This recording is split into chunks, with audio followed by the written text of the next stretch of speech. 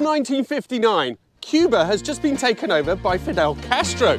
Disney has just released Sleeping Beauty. The Luna 1 was the first spacecraft to leave the world's orbit, and the Swiss decided to vote against giving women the vote. It is also the year that this was made, the Chevrolet Bel Air.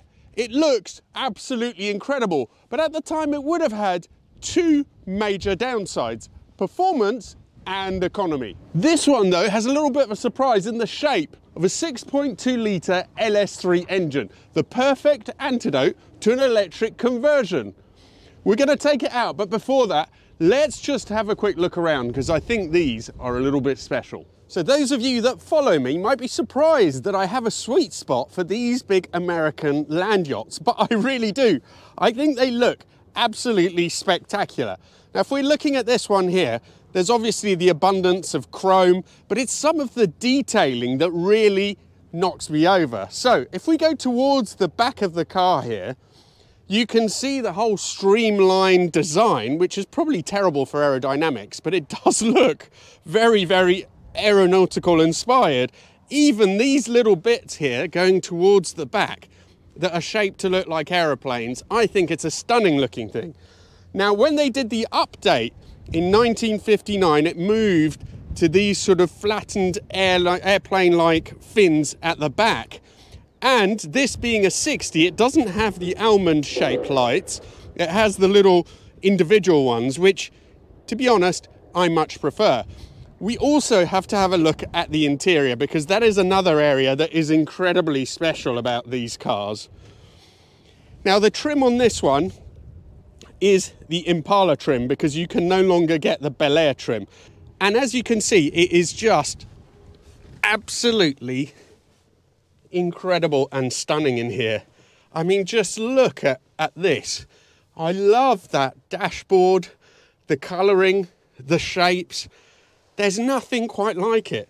This one, because it's had the conversion, it's got a few little modern touches. It's got a modern air conditioning system that Rob, who owns it, told me he isn't that fond of. Look at the hooded instruments there. You've got some, I'm pretty sure, some modern uh, inserts into them, but the wheel with a little bit of patina and bubbling. This is a four speed with a lock up overdrive as well. So you get much, much better economy. As standard, this, this would have about 12 miles to the gallon. As it is now on a run, you could get the mid 20s, which is just amazing. It looks like an American diner. It is a fantastic thing.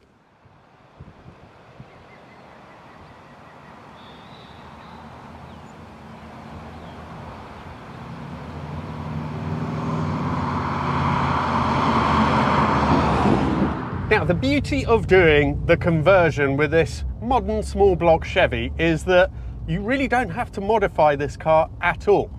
All the mounting points from the new LS3 are the same as the previous small blocks used to be. So Rob, who did the conversion on this, you have to get some different mounts, uh, but that's about it. I really do love these things. I think that they look absolutely spectacular.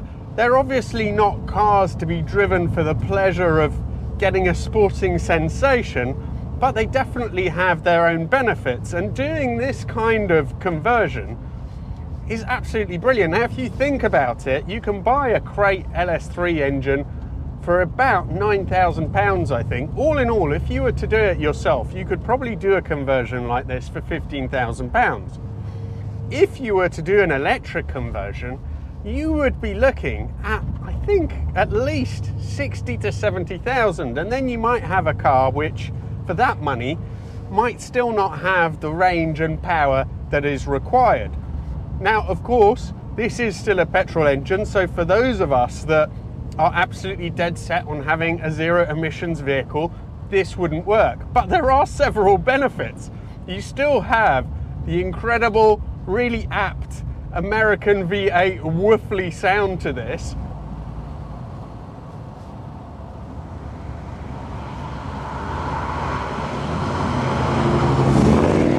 As I said, it's a lot cheaper to do the conversion. You still have the power and it's far more efficient. So the original cars used to get about 12 miles to the gallon. This on a run is capable of getting 25, even nudging close to 30 miles to the gallon, which makes it really a very usable classic. I would like to have had one of these. The main issue though for me is the size. You need a garage and you need a very big garage. And on little roads like this, size wise, it's a little bit of a handful. 430, uh, 430 horsepower this has. And is he letting me through? No. And uh, should make for a quick car. Let's find out.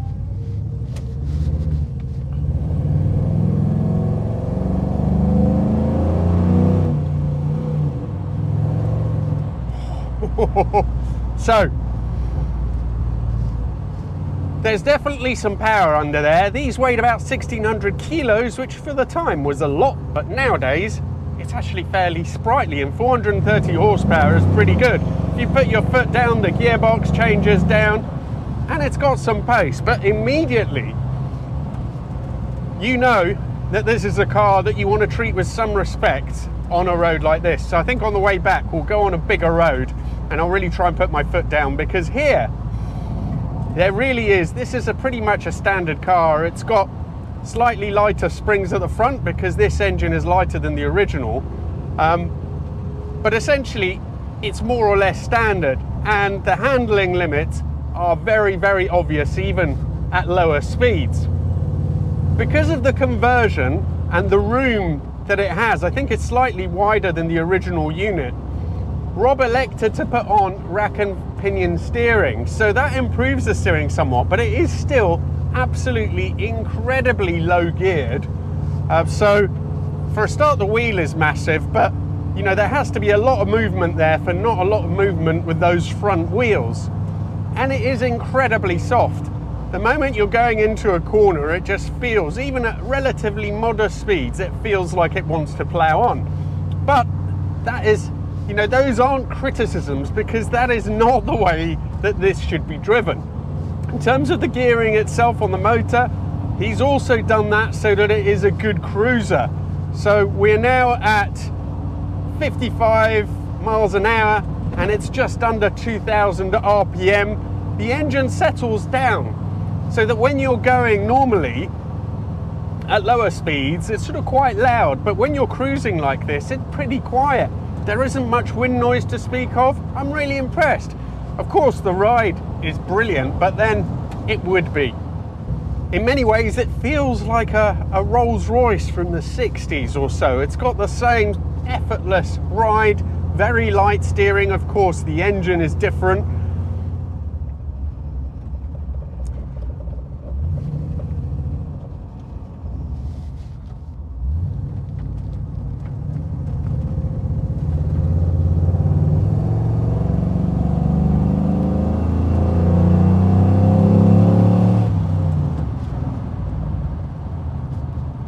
brakes require a firm shove, but they feel pretty strong. I'm not sure what upgrades Rob has made to those, if any, but they definitely feel pretty good. You see the under dash panel there is to hide the new air conditioning and all those sort of parts, and I think it doesn't look incongruous, it looks pretty good. Now, despite being massive, the turning circle is pretty terrible. That isn't because of the new rack. Apparently the turning circle is not very good on these in any case. Now back in drive and let's just try and do a spirited bit of acceleration once these cars have gone by. Okay.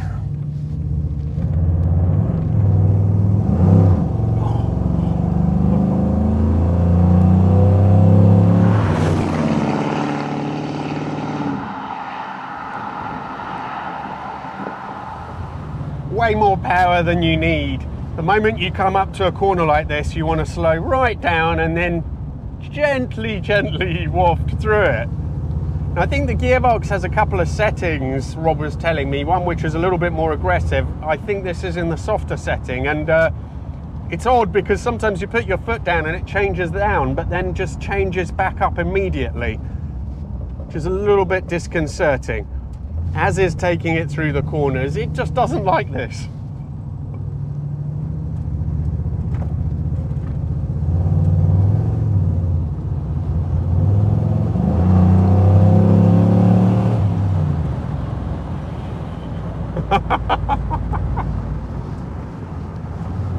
you can build up speed quite quickly and then um,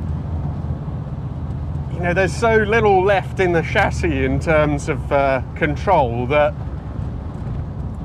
you, you can't play about with it too much because you do get some heart in the mouth moments I think more than in any other car that I've been in. It really does to like to float about.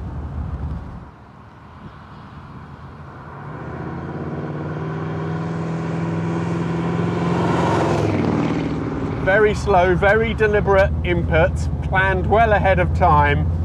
But driven like that, it is an absolute pleasure. You're just sort of wafting around, you have the American V8 in the background. Power is just there whenever you need it. And it's a really interesting conversion, this one, because I have to say I haven't driven an original and I'm sure it will sound a little bit different to this, but from the perspective of a US car virgin in many ways. This is exactly what I would hope to have, but you have much more power, you have more reliability, better fuel consumption. It just seems like a really brilliant package and a great conversion to do.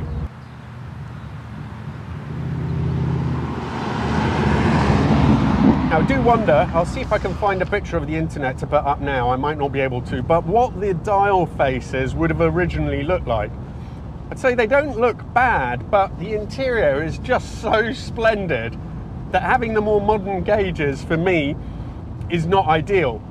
The reason why they are there is because this gearbox doesn't have a mechanical pickup.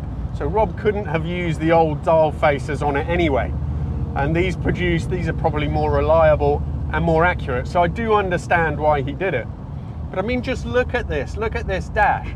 I originally thought this was maybe some kind of plastic dash that had survived, but it's not. It's a metal painted dash. It is all just a work of art.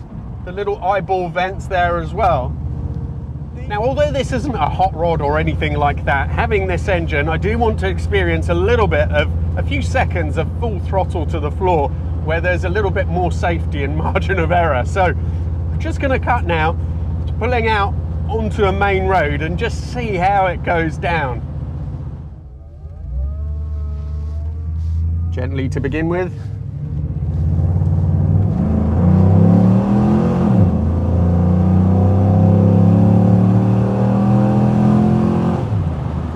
This thing is quick. it really is quick. I wasn't able to put my foot to the floor in the same way on that little road. And I think that for me, the main thing which takes away from the confidence, it is the soft suspension, but it's just the steering feel. There is so much vagueness at the straight ahead that it does feel when you have all the power going to the back, unless you're on a really smooth road, it starts to move around, which is a little bit scary. But on a smooth road like this, that was amazing. And it is incredible because it's a bit of an oxymoron, this car, because the chassis, it's not a hot rod. It's supposed to be a fairly faithful recreation. So the chassis really doesn't encourage that kind of naughtiness. But the engine and the power and the torque is so addictive. That engine sounds good as well when it's going up to the higher sort of rev range. Um, it's a lot of fun, this thing, and scary if you don't drive it properly.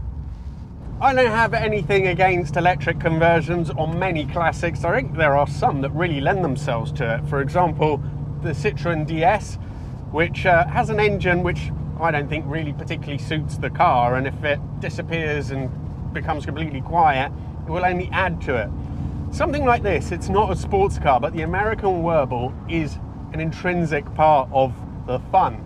So for me, this conversion are definitely preferable to anything electric, and it works extremely well. Thank you so much to Rob for bringing this down. I really appreciate it. He's only just recently finished it. He hasn't done much mileage on it. He's entrusted me with it. and it's a beautiful thing and so well restored and converted. Still has the odd little bit of patina here and there. He's reused a lot of the stuff, but it looks beautiful. If you want me to do a review of one of your cars, please get in touch. This is the best way. Um, if you haven't subscribed, please do. And I really look forward to seeing you for the next video.